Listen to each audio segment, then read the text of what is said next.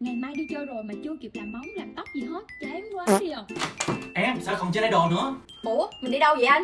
Em thay đồ đi rồi anh dẫn đi làm đẹp chứ đi đâu. Anh mới săn được hot deal combo nail hair spa của Zema Beauty giá gốc 1 củ 5 mà đang được sale còn 229 cành thôi nè. Thiệt hả? Vậy mình đi Bình thường nghe tới dẫn bà đi làm đẹp là tôi ngán dữ lắm.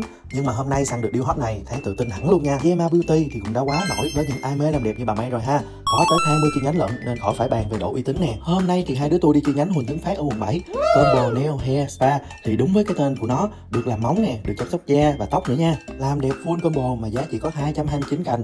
Tôi chưa thấy địa chỉ làm đẹp nào mà có giá hời vậy luôn á. Tuy là giá hạt rẻ nhưng mà mấy bạn nhân viên ở đây khắc khe và chăm sóc bà May kỹ lắm luôn nha.